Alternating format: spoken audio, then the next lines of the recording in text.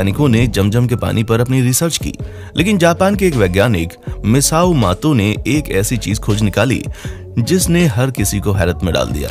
मिसाओ मोतो एक ऐसे वैज्ञानिक हैं जो दुनिया भर में अलग अलग जगह पर पानी पर रिसर्च करते हैं। ऐसे में जमजम के पानी के ऊपर रिसर्च करने के लिए इनसे बेहतर इंसान कोई हो ही नहीं सकता था।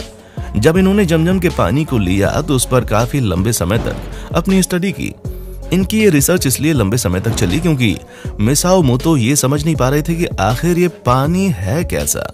इस तरह का पानी उन्होंने आज से पहले कभी भी नहीं देखा था। इनका कहना है कि जमजम के पानी के मॉलिक्यूल्स को माइक्रोस्कोप से देखा ही नहीं जा सकता। जमजम का पानी इतना ज़्यादा ताकतवर है कि इसके मॉलिक्यूल्स को देखने के लिए और इसके क्रिस्टल्स बनाने के लिए जमजम पानी की एक बूंद को नॉर्मल पानी की हज़ार बूंद के साथ मिलाना होगा। तब जाकर इसके मॉलिक्यूल्स माइक्रोस्कोप में देखे जा सकते हैं और इसके क्रिस्टल्स बनाए जा सकते हैं। मिसाओ मोतो ने एक और हैरान कर देने वाला खुलासा किया है। इनका कहना है कि जब जमजम पानी की मात्र एक बूंद को नॉर्मल पानी के हज़ार बूंदों में मिलाया जाता है तो उन हज़ार बूंदों में भी वही गुण आ जाते हैं जो जमजम पानी की एक बूंद में होते हैं। अगर हम इस जापानी वैज्ञानिक की माने तो इनके हिसाब से जमजम का पानी किसी चमत्कार से कम नहीं है। अब अगर हम किसी नॉर्मल पानी का क्रिस्टल बनाएँ तो उसकी बनावट अलग अलग होगी।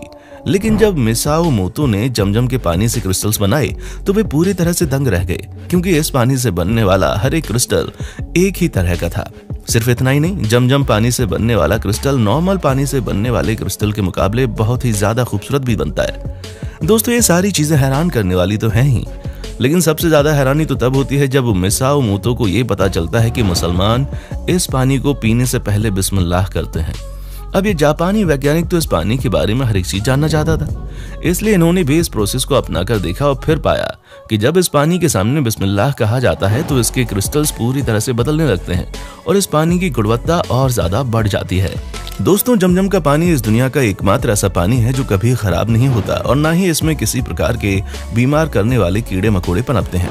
आमतौर पर दुनिया भर में जितने भी कुएँ हैं, उनमें काई जमने लगती है, लेकिन जमजम का कुआ एकमात्र ऐसा कुआ है जिसमें आज तक काई नहीं जमी है। जब मुसलमान इस पानी को पीते हैं तो उन्हें ऐसा महसूस होता है कि उन्होंने अमृत पी लिया है। यहाँ तक कि ऐसा भी कहा जाता है कि जमजम का